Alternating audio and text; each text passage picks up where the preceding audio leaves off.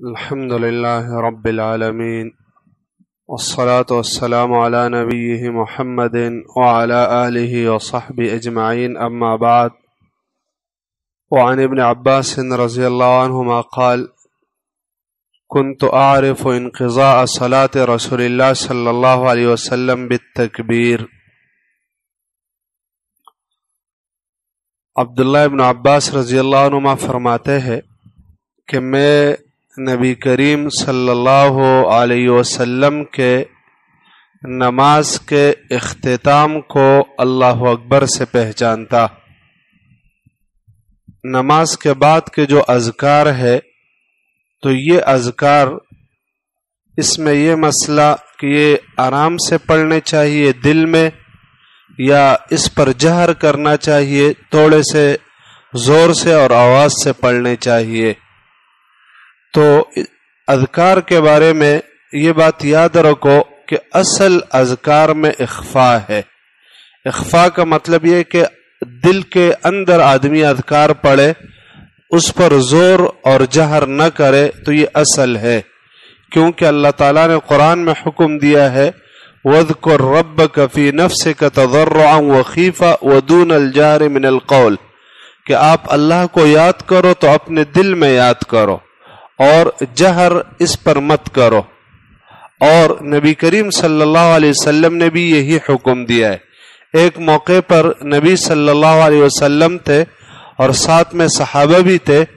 تو صحابہ کرام رضی اللہ عنہ زور زور سے تکبیرات پڑھ رہے تھے، اذکار پڑھ رہے تھے۔ تو نبی صلی اللہ علیہ وسلم نے ان کو سمجھایا اور فرمایا کہ یا یو الناس اربعوا علی انفسکم۔ اے لوگو، اپنے آپ پر شفقت کرو، اپنے آپ پر رحم کرو۔ آپ لوگ زیادہ زور سے اذکار مت پڑھو۔ ان لا تدعون اسما ولا غائب۔ آپ لوگ کسی بہرے کو یا کسی غائب ذات کو تو آپ لوگ نہیں پکار رہے ہو۔ جس ذات کو آپ لوگ پکار رہے ہو، وہ آپ لوگوں کے انتہائی قریب ہے۔ تو مطلب یہ کہ اذکار پر بہت زیادہ جہر یہ نہیں ہونا چاہیے۔ لیکن نماز کے بعد کے جو اذکار ہے تو اس پر مختصر سا جہر کرنا یہ احادیث میں ثابت ہے۔ یہاں اس حدیث سے معلوم ہوتا ہے کہ عبداللہ بن عباس فرماتے ہیں کہ میں نبی صلی اللہ علیہ وسلم کے نماز کے اختتام کو تکبیر سے سمجھتا تھا۔ یعنی نبی صلی اللہ علیہ وسلم جب نماز سے فارغ ہو جاتے تو وہ اللہ اکبر پڑھتے تھے۔ اور پھر اس کے بعد کچھ اذکار یہ اللہ کے رسول کسی حد تک ذرا زور سے پڑھتے، پھر اس کے بعد عام اذکار آرام سے پڑھا کرتے تھے۔ تو نماز کے بعد کے جو اذکار ہے، ان میں پہلا ذکر یہ تو اللہ اکبر ہے۔ اللہ اکبر کے بعد پھر دوسرا ذکر جو اللہ کے رسول سے نقل ہے، وہ استغفر اللہ کہنا ہے تین مرتبہ۔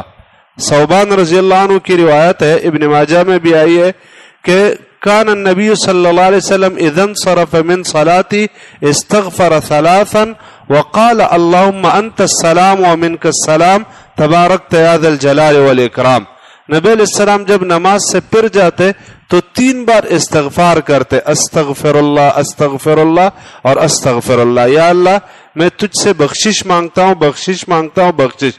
یہ تین بار جو اللہ کے رسول نے استغفار کیا ہے اس کا یہ معنی نہیں کہ اللہ کے رسول علیہ السلام نے کوئی گناہ کیا تھا، اس وجہ سے بخشش مانگیے یہ استغفار مانگنا اس کے لیے ضروری نہیں ہے کہ آپ نے کوئی گناہ کیا ہو تو اس کے بعد آپ استغفار مانگو گے۔ استغفار مانگنا یہ ویسے ہی اللہ رب العالمین کا حق ہے۔ اگرچہ آپ نے ایک بھی گناہ نہیں کیا ہو مثلا نبی صلی اللہ علیہ وسلم ایک مجلس میں ستر ستر مرتبہ استغفار کرتے تھے۔ تو یہ مطلب نہیں کہ انہوں نے گناہ کیے ہوتے تھے، لیکن یہ اللہ کا حق ہے، اللہ تعالیٰ اس پر خوش ہوتا ہے۔ نماز بھی جب انسان پڑھ لیتا ہے، تو یہ معنی نہیں کہ نماز کے اندر انسان کوئی گناہ کرتا ہے۔ نماز میں گناہ نہیں ہوتا، لیکن ویسے اس کے بعد استغفار مانگنا یہ اچھی بات ہے۔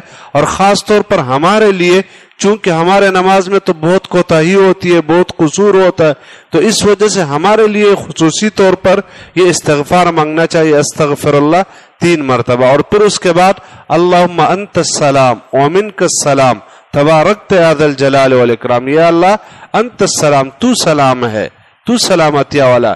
تیری طرف سے ہی سلامتیاں ملتی ہے اور تبارک عادل جلال والاکرام یا اللہ، تو برکت دینے والا ہے۔ اے ذل جلال والاکرام تو یہ اذکار یہ۔ اور اس کے ساتھ ایک مہم ذکر جو نبی صلی اللہ علیہ وسلم نے اپنے ایک محبوب صحابی کو بتلائی تھی معاد ابن جبل رضی اللہ عنہ کو۔ نبی صلی اللہ علیہ وسلم معاد ابن جبل رضی اللہ عنہ کو رخصت کر رہے تھے، ان کو یمن کی طرف والی اور گورنر بنا کر بھیج رہے تھے۔ تو جب ان سے مفارقت ہونے والی تھی، تو اس وقت نبی صلی اللہ علیہ وسلم نے ان سے فرمایا تھا کہ یا معاد اے معاد واللہ انی لوحبک اللہ کی قسم مجھے تجھ سے محبت ہے۔ ایک نہیں بلکہ دو، تین بار اللہ کے رسول نے قسم کا کر فرمایا کہ اے معاذ، مجھے تجھ سے محبت ہے۔ اور پھر اس کے بعد اللہ کے رسول نے فرمایا، لا تدعن دبر کل صلاة، رب اعنی علی ذکر کا و شکر کا و حسن عبادک، کہ کسی بھی فرض نماز کے بعد یہ ذکر مت چھوڑنا۔ رب اعنی علی ذکر کا و شکر کا و حسن عبادتک رب اعنی اے اللہ میری مدد کر۔ اعلیٰ ذکر تیرے ذکر پر کہ میں تیرا ذکر کروں۔ وہ شکر اور میں تیرا شکر ادا کروں۔ وہ حسن عبادت اور اچھے طریقے پر تیری بندگی کروں۔ تو یہ ذکر، یہ بھی اس کے ساتھ ہونا چاہیے۔ اور اس کے ساتھ لا الہ الا اللہ وحدہ لا شریک لا، لہ الملک و لہ الحمد علا کل شین قدر لا حول ولا قوت الا باللہ۔ یہ جو اذکار ہیں یہاں لکھے ہوئے تو یہ اذکار، یہ نماز کے بعد اسی ترتیب سے پڑھنی چاہیے۔ سبحانہ